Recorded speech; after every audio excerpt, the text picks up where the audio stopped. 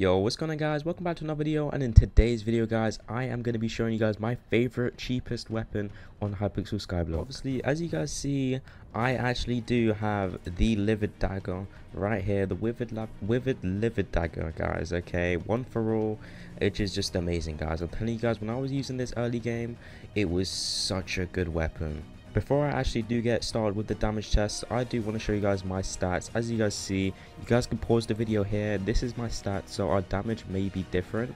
But obviously, let's go ahead and just see how much we do. 114,000 damage, 114 if we throw it, 39, uh, was that 39k? 228k from behind, 114 from front. And as you guys see, this is overall just an overpowered weapon.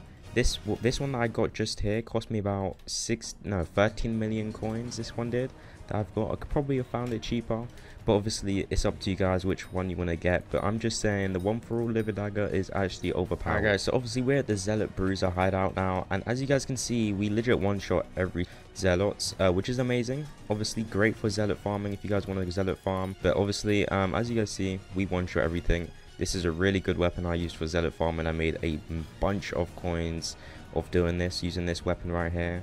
It was just such an amazing weapon and I just wanted to share it with you guys.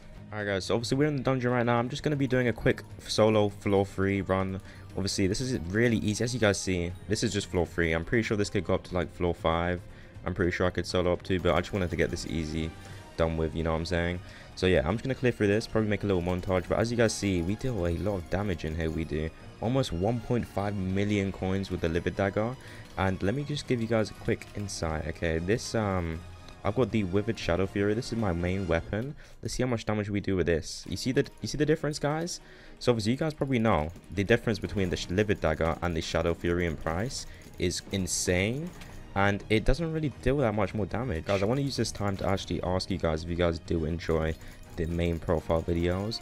Obviously i'm going to carry on with the farmer to hyperion videos but i feel like i should be posting more on the main profile because i know a lot of you guys do actually enjoy watching those type of videos.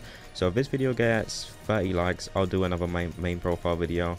Either way if it doesn't i'm probably still going to do another one but we do have a farming to hyperion episode coming out this week so make sure you guys are staying tuned for that but from that guys i'm going to make a quick montage of me clearing out this floor with the livid dagger. And yeah hope you guys do enjoy